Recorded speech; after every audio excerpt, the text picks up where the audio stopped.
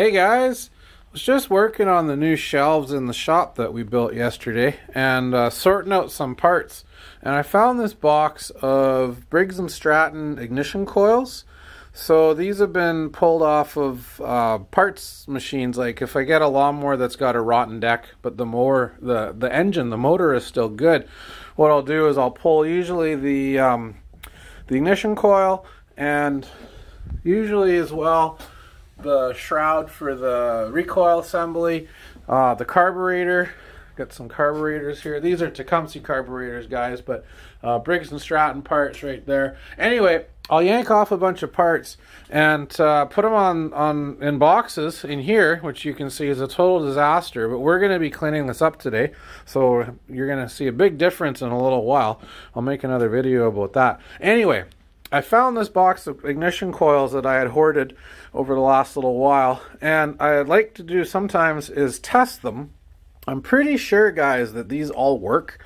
Um, I probably uh, pull started the engine with a squirt of gas in it to hear it run before I stripped the engine. But I've had these for years, and I have this really handy tool. It's called a Model 79 Ignition Analyzer. It's just a fancy fancy word for coil tester. And this thing will test uh, ignition coils. It'll do the new electronic style like these. It'll also do the old school points and condenser style.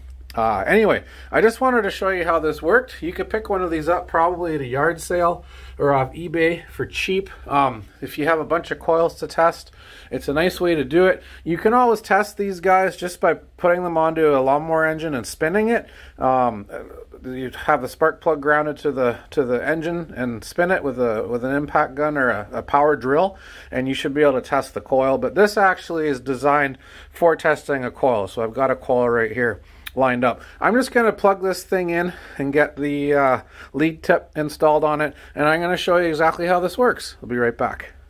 So here she is all set up and ready to test. We've got our ignition coil with a grounding lead on it right there.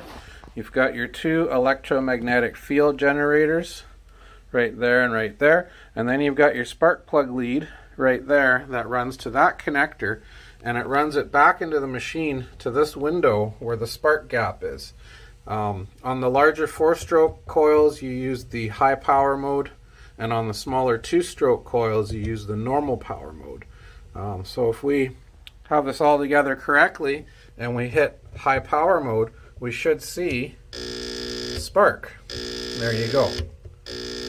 You can see it sparking as long as those are close enough can see it sparking inside the window. So that tells us that that coil is good. Um, I'm going to go ahead and test all these babies. I'm pretty sure that they all work. Like I said, I would have fired the engines before I removed them. But if you ever run a small engine business, guys, it's a great idea to keep a bunch of these things. I mean, you don't need this many. Maybe five, maybe 10, 10 per season, depending on how many mowers you work on. Because you'll get the odd mower that'll have a bad coil. You'll think it's something to do with the carburetor. No. Something to do with the spark plug. No. Something to do with uh, flywheel key even. No. And then you change the coil and the machine runs like new. So it's great to have a few of these on hand. And it's a great to have a tester like this. So in the wintertime when it's frozen outside, you have something to do. Get yourself ready for the oncoming season. All right, thanks for watching. Hit the subscribe button. I'll show off some more of this junk once I get it sorted out. We might do a mini series on how to start up a small engine repair business. I know some people out there looking for a little side hustle and they got lots of small engines and stuff lying around like I do, and they want to put their hobby to work for them, I can probably lend some advice of how I got my setup up and running and to actually turn it into a mobile gig, which I'll link some videos to at the end of this one. All right, thanks for watching.